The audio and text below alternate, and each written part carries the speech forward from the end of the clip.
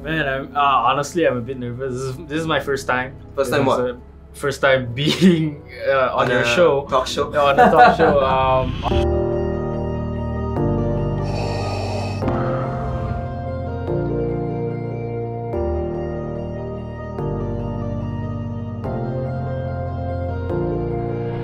Hafiz, you are chosen for today's episode for a multitude of reasons.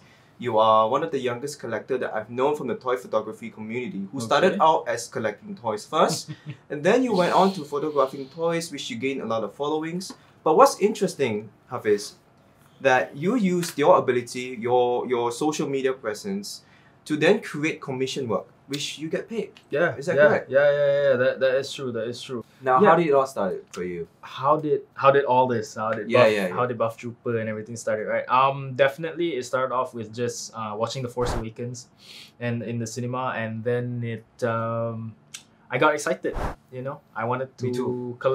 you too right i mean it was a good movie it was a good movie How did toy collecting suddenly went into like a skilled right into photography? How, how did it um happen? How did it work for you? uh, that started off with just having a phone, a few toys, and a photo box. Right, very very cheap one.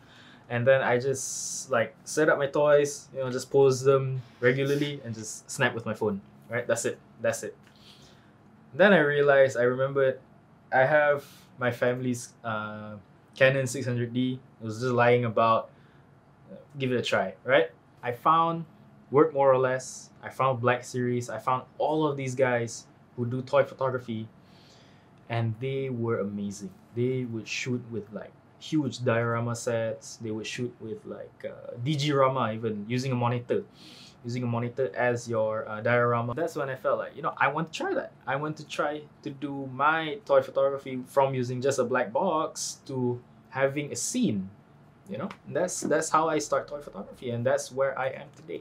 yeah Now I recall seeing your page only have like double digit followers, but but right now, right now, you have about Uh, 3,000 three- three- 3,000 plus. 3,000 Yeah, followers. 3,000 plus. I never knew taking toy pics can be so Oh, popular. Um, what happened? How did it blow up? Man, uh, for one thing, it was definitely from the toy community itself. They helped me a lot, not gonna lie. Um, they had this like um, hashtag, daily hashtag, so it's called. Now, now that you've amassed a following on Instagram, how do Mhm. you, uh, from there, how did the commission work happen? How did you manage to leverage on the people who follow your work to then want to purchase your work? Ah, the uh, customs, uh, the commissions. Well, uh, the customers and the customs and commissions started off with just me wanting a different type of trooper, something that Hasbro hasn't made. It comes from like, oh, you know, I want, I want to have the uh, 501st trooper, for example, but uh, Malaysia didn't have, right? Hasbro Malaysia didn't have at the time. I made it myself. Bought some acrylic paint, painted it myself. It's done. That's how commission started. And from there, I posted my work on Facebook. I posted my work on Instagram, and people, uh, the locals were like, "Hey, that's nice. Can I commission? Can I have? Uh, yeah, can I commission you to make one for me? Sure, why not? All right, now enough chitty chatter. Let's get into the practical side. Hafiz versus Rodric, pro photographer versus amateur photographer. Because I know jack shit about shooting toys. Are you up for it? yeah, let's do it. Let's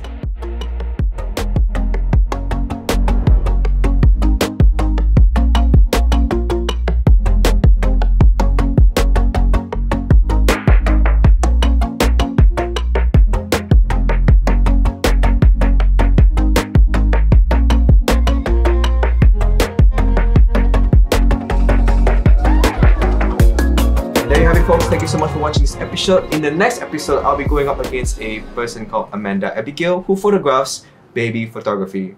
If you're into that, stay tuned for the next episode. Peace out.